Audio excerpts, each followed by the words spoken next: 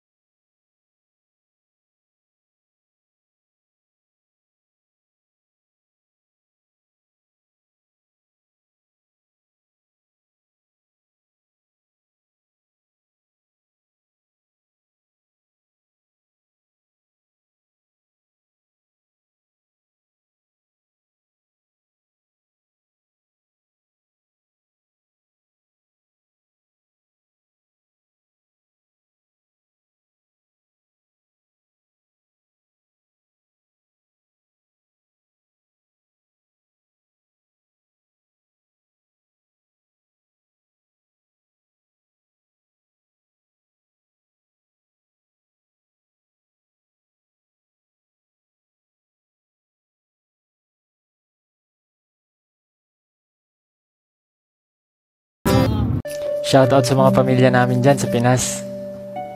Ito, Real Talk. Alam niyo ba hindi yung sahod ang nagpapasaya sa aming mga OFW? Ang nagpapasaya sa amin ay dahil tuwing sahod ay napapadala agad namin sa inyo.